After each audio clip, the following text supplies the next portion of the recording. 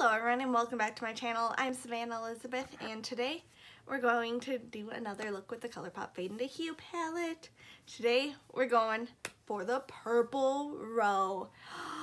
This is the first of my one color, one, well, one column look series.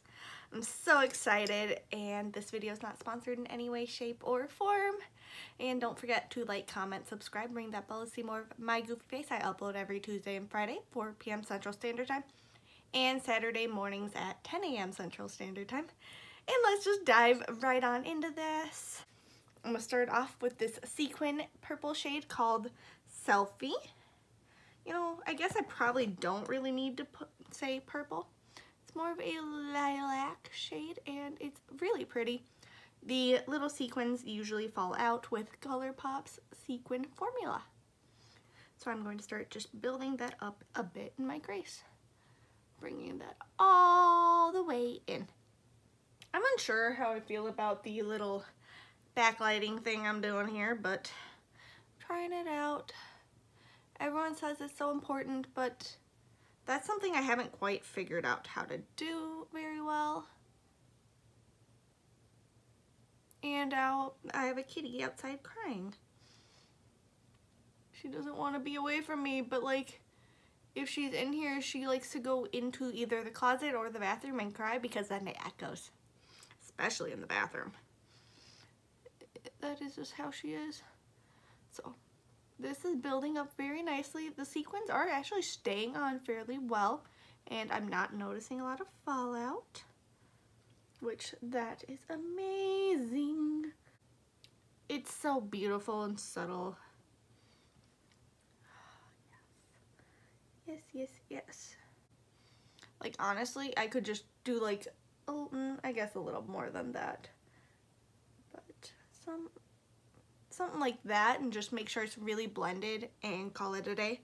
Purple formulas tend to be harder to make, so I applaud them it it does take a little bit more blending work, but it, it just give it a little bit of effort and it will pay off. At least from the three shades I've tried. The, I've tried one shimmer, one matte, and one sequin from this formula of ColourPop Purple Shadows in this palette. Okay, with that blended in very nicely, I'm going to grab a different but slightly smaller fluffy brush, brush and dip into this majestic shade, which is a beautiful, deeper, vibrant purple. And focus this on the outer portion of my crease and outer, outer corner. I use this shade in other looks as like a liner. This is my third time using this palette, by the way. I'm getting some fallout right in there. But, you know, okay. Fallout bugs you, you can always do your eyes first. So far with ColourPop shadows, I've not really had any problem with wiping fallout away very easily. It is a bit powdery.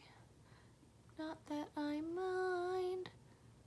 So make sure to tap your brush off. I'm gonna grab a little bit more, plop that on, and go back in with the previous brush to blend it a little bit better. And making sure I'm not going any further than two-thirds inward. With my blending, I want to keep that deeper shade closer to the outside. I like to keep that inner portion nice, bright, and open. It just really helps open up the eyes and make things look brighter. Placing the shadow is really working well. I'm getting a no fallout that way. Okay. Sometimes it's just trial and error, finding what way works best for you. This is going to feel really ethereal, I feel like, anyway, by the time I'm done with it. Oh, yeah. I should have done it that way from the get-go. Oh my goodness. I really should have. Dang it, Savannah. Should have done it that way. Oh well. You live and you learn, right? That's how it is. Now we're on to the fun part, the shimmers. I'm going to grab the deeper shimmer here, which is, no, oh geez, no, Novu, Noau, I don't know how to pronounce that, but I'm going to put that on the outer half.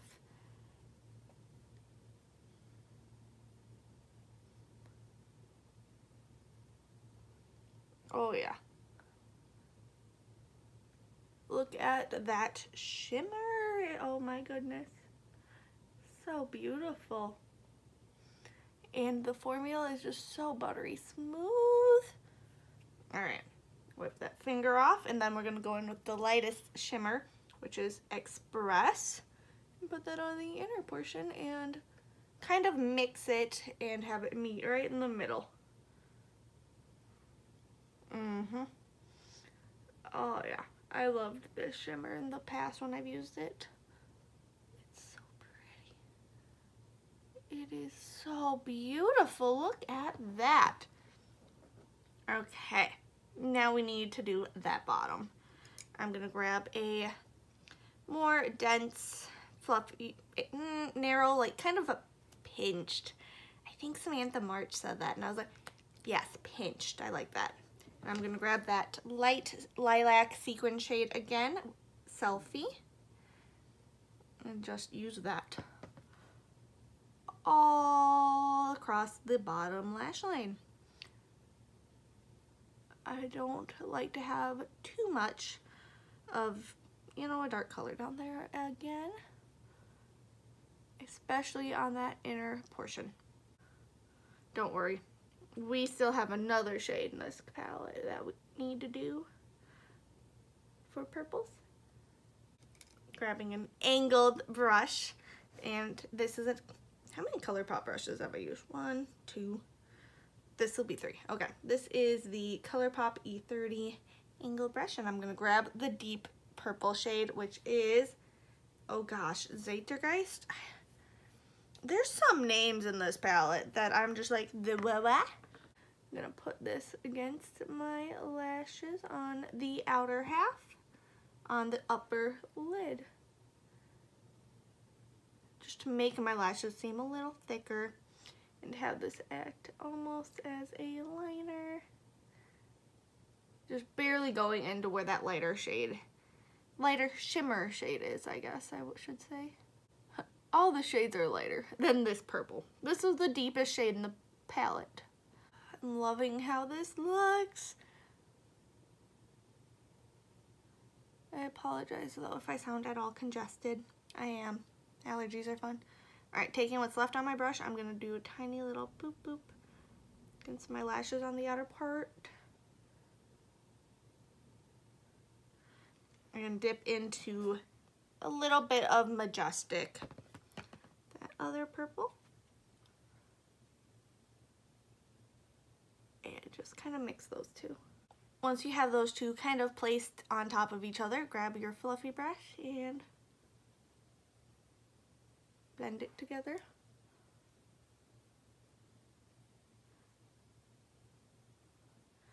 And make sure to blend it up a little bit. And like up, flick it in.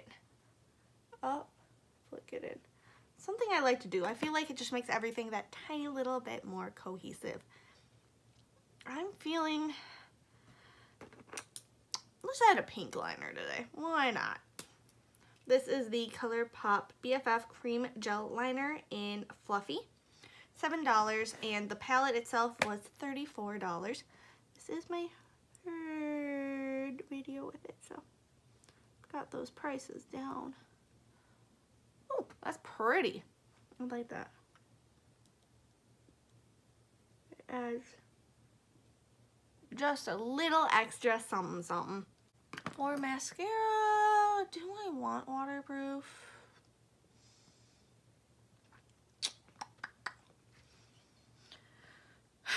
no, I'm gonna grab a different mascara. I was going to do waterproof, but like, you know, I'm probably not gonna wear this all day. I'm gonna try and do another video later, so let's grab another uh, mascara quick. Alright, so here is the finished look. Oh my good. Oh, no it's not. I have to put inner corner highlight on. What am I thinking? This is my Wet n Wild Mega Glow Highlighting Powder in Blossom Glow Pink. It's on my face. Put a little there. Do do. Do do do do. Right there. There we go.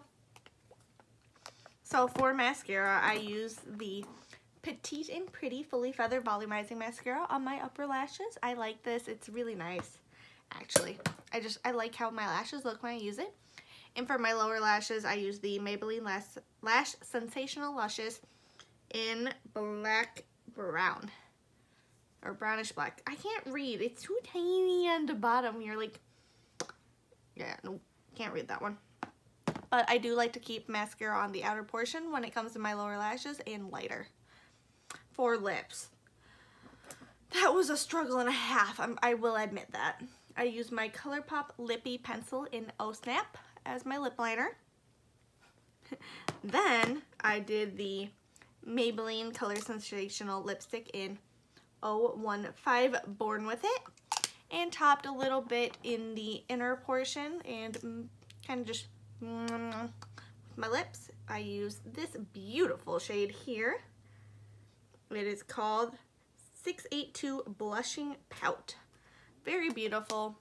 And that concludes the look. What do you think? Any tips, tricks you would like to see me try in a future video? What color do you think I'm going to do next? I would say, what do you want me to do next? But I, I, I that's not going to work out. I'm going to be filming this fairly randomly and just kind of obsessively until I get it done. So those videos will probably all be filmed by the time you see this one. So, ha, I guess. But don't forget to go check out my other videos, like, comment, subscribe, ring that bell to see more of my goofy face. Um, also, I understand if you can't comment if you're watching on TV.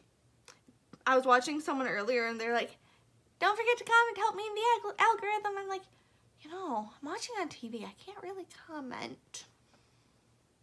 Oh well, whatever. But if you could comment, that would be amazing. It'd mean a lot to me, and I hope to see you all in my next video. I love you all. Bye.